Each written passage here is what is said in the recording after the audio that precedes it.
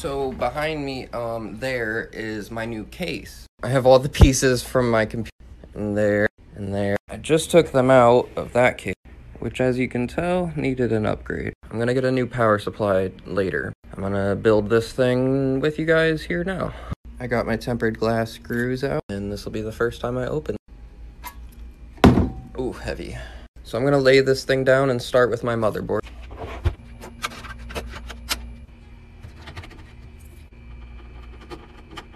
Now normally you have to put your RAM and your CPU and fan in, but I had already done that because I just switching from another computer. I'm gonna go ahead and start plugging these in. USB 3.0, as ugly as ever. Front panel audio connect, power switch, power LED, reset switch. Slide my very old power supply, plug in your important cable, and give it a test for instant gratification. Okay, so it wasn't turning on, and I realized my CPU doesn't have graphics, so I put my graphics card in. And then I also plugged in the LED controller for the fans. And now... oh,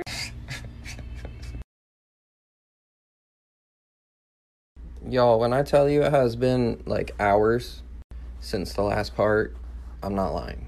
So my power supply literally just died. So I went to Best Buy. And now I'm redoing the power supply. Alright, so I got it installed and I just put my Wi-Fi adapter in. She's come on finally.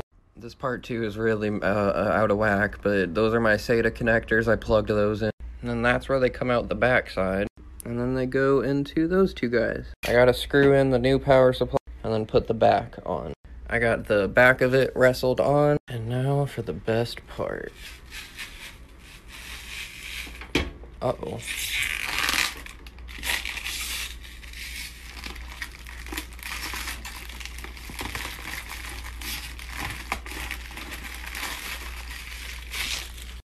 And it is all done.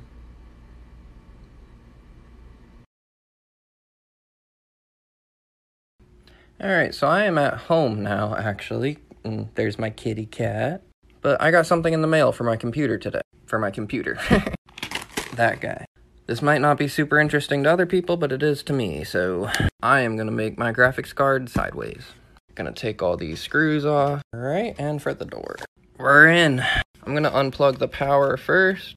Unscrew the one retention screw. Alright, one big ass graphics card removed. Now to get my sideways things opened up. Alright, and for anyone that doesn't know any better, this is strictly for cosmetics.